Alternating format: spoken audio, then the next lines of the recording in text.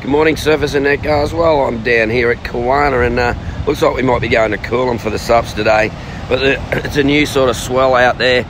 It's about half to just over a metre. It's dropped quite a bit. Some sets a bit bigger, but uh, you're looking at some fun beach breaks on the Gold Coast. We've got west to northwest winds for most of the day, going a bit north later, but I'll be checking out your beach breaks from the Spit all the way south down to Nobbies. Tweed Coast back beaches, they'll probably be the special. But uh, yeah, we've got that high tide, hap- or low tide happening around 12. High tide now, the water temperature about 24 degrees. So go eat your beach breaks for some fun. That'll be your best bet. Plenty of beaches here, but I think we're going back to Coolum. So uh, go and enjoy. And uh, yeah, get a couple. I'll catch you in the waves.